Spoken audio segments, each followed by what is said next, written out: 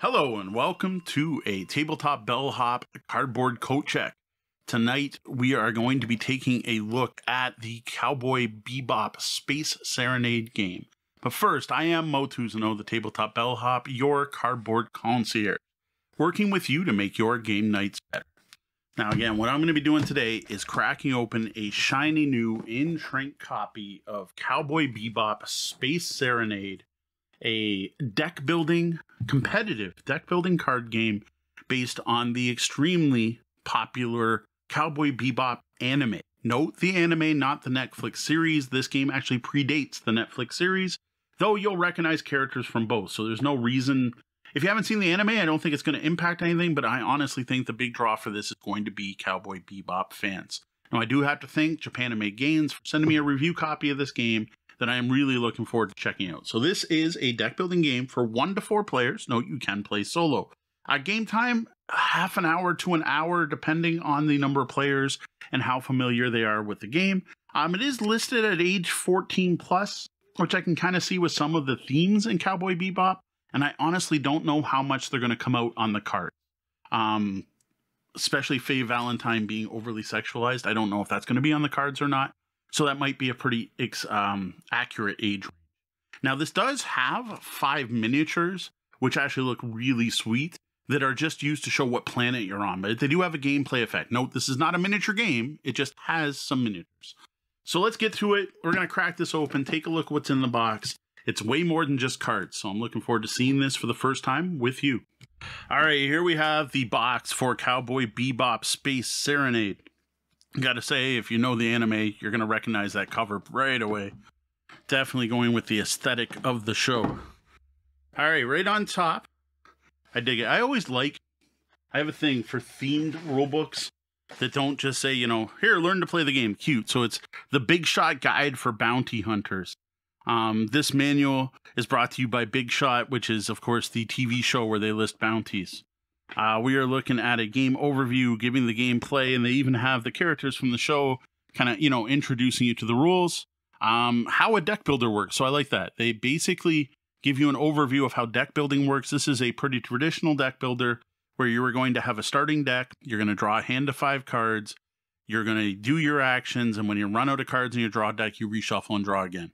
In this particular game, there are standard cards that all the characters have, as well as character specific cards. This is a quick look at the card design, but we'll be seeing those later. Uh, rule books, nice big text. I dig that. You are looking at four different resources in this game, so it's four different things you're trying to collect to do stuff. There, there are Woolongs, which is the money, and Cowboy Bebop, which is used to buy more cards. Fuel, which is needed to power special abilities and move between planets. Strength, which is used to defeat bounties. And Clues, which is an alternate way to defeat bounties where you're going to outsmart them instead of defeating them. Um, we also have various bounty cards, which we'll see later, as well as there'll be planets that we can move to. So you can kind of see the basic layout where you have the bebop surrounded by planets. Uh, setup looks very clear here, tells you the number of players, how the player boards and decks work. Here's the different effects. Um, one of the things this game does feature is similar to games like Star Realms, where you can combo cards. But the interesting thing I found in this compared to that was that they don't match the color. So, like, it's not like every blue card you play combos off you'll play a blue card that says if you've also played a purple, something happens. And what those are actually tied to is the different characters from the series. So even when playing with less than four characters, you still have the miniatures out for the other characters because you can still combo off them, which I thought was interesting. Um, there's a whole thing about purchasing cards, flying around, confronting criminals. Um, not a hugely thick rule book, but there's enough going on here that this we're looking at a good 16 pages, 15 pages. Even more than that, once you get into the individual character abilities. So we're looking at an 18 page book without the solo variant, which isn't bad. Now, one of the things that is an important part of this game is eventually you will be battling against Vicious, which would fit both of the series. You got their various random character abilities and so on. Nice rule summary on the back of the book here. And again, I dig the thematic beat up Old West look. Next, we have counters. We have all kinds of counters for various different things in the game. So we have counters here. It's just one punch board. Then we get to this is where you put some of the decks off to the side. Uh, looks like the Bebop might actually be 3D. Oh, the Big Shot. That's cool. I didn't realize this. So some of the cards are actually be standing up. Um, obviously, it came with standees originally, but I know there are miniatures in this, so I have a feeling that might have been a Kickstarter bonus at some point. But note the retail copy does come with the miniatures, so I have a feeling that before the Kickstarter they were not going to be. Um, then we get to the different planets, and what I will note here, it's kind of can you see that? That is a double layered board. So right in here, you're going to put a cube that marks how much fuel it takes to get to this planet. If it gets to the final, the the villain is going to escape. So you have the different planets you're going to. Note they're not named, but if you've seen the show, you might know which planets they represent. So there are three different planets to travel to, and that's a spot to put your target, your bounty on.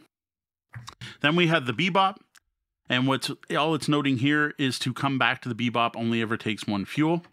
Then we have the player boards, which again are dual layered because over here you are going to track your fuel with a cube. So there's actually something in there. So I got to say, big bonus for dual layer player boards, kind of trying to show that off.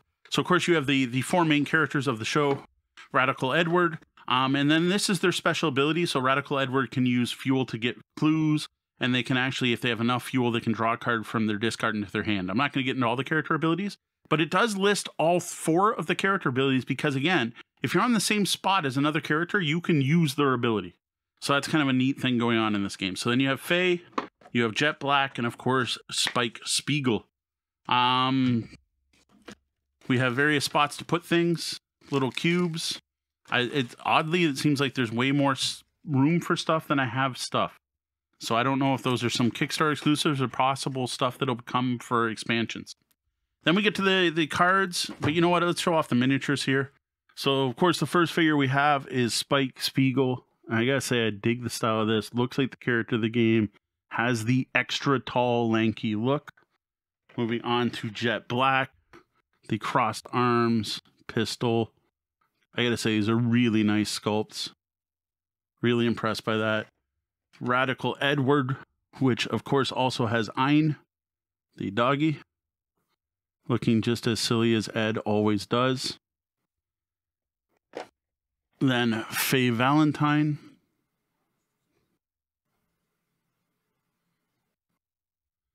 And finally, your villain, Vicious. Like, look at that mini. That is a great looking miniature for a game that really doesn't need them. It's a nice bonus. So there you have your miniatures. The only thing we have left to look at is the cards. I'm going to do a quick, no, nothing under the box insert. Always worth checking. You never know. So I'm going to actually put this off to the side a bit and we're going to stack these here. Okay, here are our different decks of cards. So the big shot cards here should be a smaller amount of these. These will be your bounties. So these are the characters you're going to be hunting down. I know this isn't, there's no uh, like legacy aspect, so I'm not spoiling anything here, but you will recognize these if you are a fan of the show. We have, of course, Teddy Bomber, uh, which does tell you what the different planets are. So there you go. Um, so Teddy starts with two tokens on being defeated by combat and two tokens on defeat by clues. But the thing is, to remove a token, you need to do one damage to remove those tokens or two clues. So it's actually more difficult to defeat him with clues than it is with uh, combat. Now, the thing is, when you do this, you're going to collect little tokens off here, which those were the tokens on the punch board, and they're going to give you points. Now, the person that defeats Teddy, though, is going to get a bonus. Though there are some starter ones, and Teddy is actually worth zero because he's an easy bounty. And then we have the MPU, which again is way more difficult. See, you need three clues, but you don't have to do it once, whereas combat, you just have to do two combat, and it's going to go through. So the starter villains um, are all worth zero points, but then they start becoming more difficult and they're worth more points. They also sometimes have abilities where they clear the market before going through. So you have a whole ton of characters all from the Bebop cartoon, going all the way up to, of course, Vicious. Vicious, of course, has a set of special rules and is more difficult to defeat based on the number of people playing. So he can be extremely difficult, needing a maximum of 13 damage to defeat or seven clues. But note it's three per clue, so 21 clue resources would have to be spent to capture Vicious, as opposed to 13 combat done to Vicious.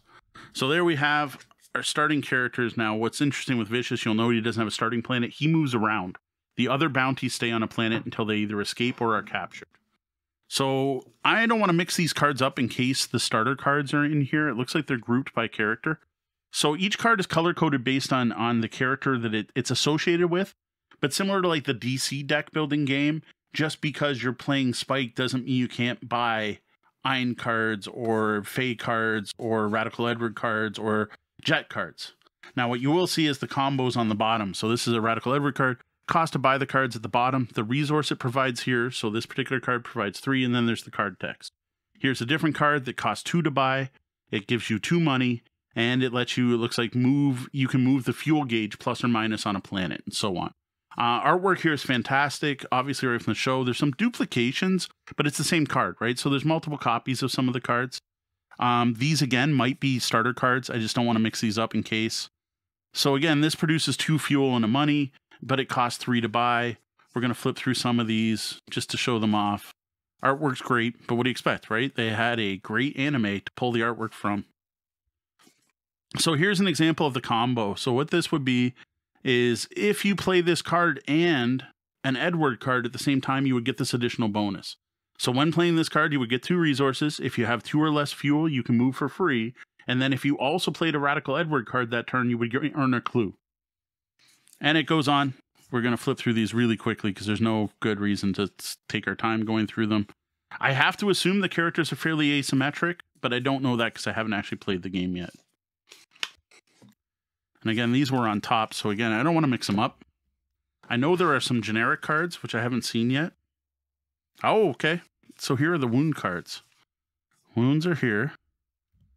Here we go. These are the generic cards. These go in the starter deck that are just for a few Woolongs. It gives you one money. You can pay a money to remove the card from your deck. You'll note they're not associated with any particular character. So there's a whole bunch of those because these are starter cards that everyone gets. I can't remember how many in each deck. And then these should be the starter cards for Spike.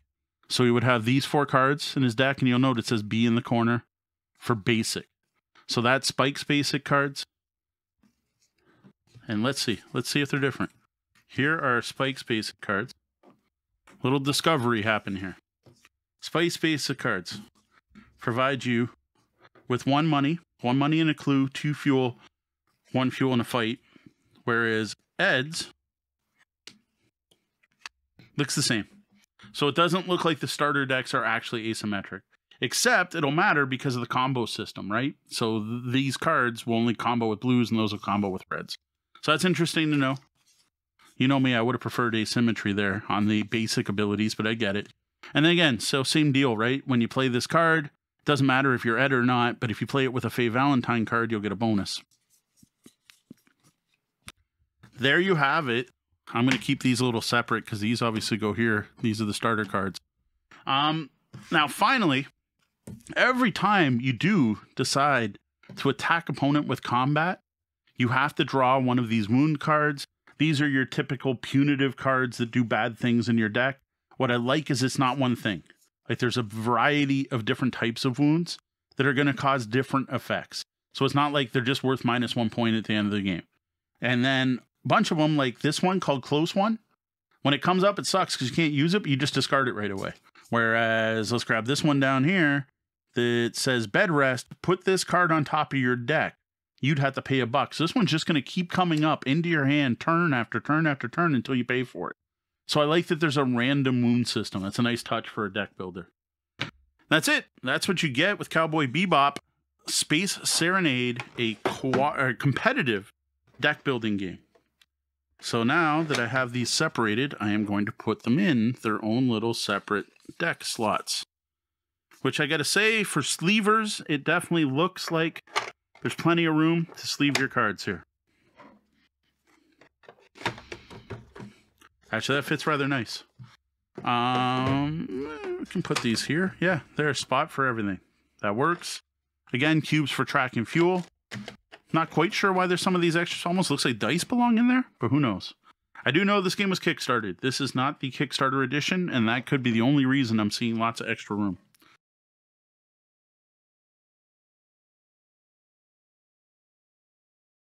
So yes, I was talking about collecting those symbols. These are the different symbols that you would collect, and these are just track victory points.